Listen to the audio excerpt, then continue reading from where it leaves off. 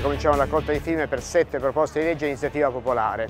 Tre derivano direttamente dal programma del PDL e sono per il rilancio dell'economia. Sono le proposte di legge per abolire l'IMO sulla prima casa, per fare in modo che ci sia una riduzione dei poteri su Equitalia, cioè fare in modo che ci sia realmente una situazione in cui Equitalia non abbia più le unghie pesanti, le unghie dure, le ganasce fiscali su quella che è la nostra attività eh, quotidiana. Spesso accade che per pochi euro, per poche migliaia di euro avvengono dei pignoramenti molto gravi. Terzo tema è l'occupazione giovanile e femminile. Noi dobbiamo dare una grande spinta con la defiscalizzazione per promuovere l'occupazione. Queste sono le tre proposte di legge di iniziativa popolare che derivano dal programma economico del PDL.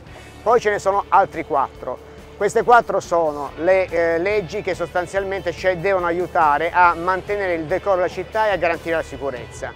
Eh, si chiede giustamente ai sindaci di fare il più su questo versante. Noi siamo impegnati in questi cinque anni, ma i nostri poteri sono molto limitati. Ecco perché vengono fuori queste quattro proposte di legge. La prima è per introdurre il reato di prostituzione in strada. Noi quando interveniamo contro la prostituzione in strada, contro le prostitute, possiamo soltanto fare delle contravvenzioni. Ci vuole un reato penale. Secondo tema, quello sul vagabondaggio e quello sull'occupazione eh, abusiva, sull'accampamento sull abusivo, dobbiamo avere la capacità di dare anche qui delle norme più severe perché noi in questi anni abbiamo fatto 1075 sgomberi di accampamenti abusivi e purtroppo per ogni volta che abbiamo sgombrato, ogni volta che siamo intervenuti, questi accampamenti si sono riformati. Con questa legge si rende definitivi questi interventi. Il terzo tema è invece legato al commercio abusivo, anche qua vediamo tanti VQPRA in giro, vediamo tante bancarelle abusive, Dobbiamo avere delle norme penali più dure per contrastare questi fenomeni, altrimenti ci sarà concorrenza sleale per i nostri commercianti e degrado nelle nostre città.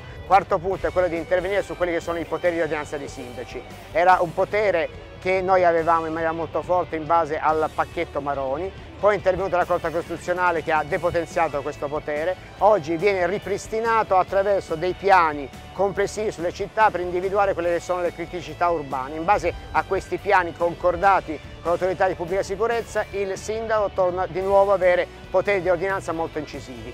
Insomma con queste leggi si dà un segnale di intervento al Parlamento nazionale, si spiega al Parlamento nazionale che non si possono lasciare i sindaci da soli, ma si denuncia anche la situazione difficile in cui vivono le nostre città dal punto di vista economico e dal punto di vista dell'ordine pubblico e della lotta al degrado.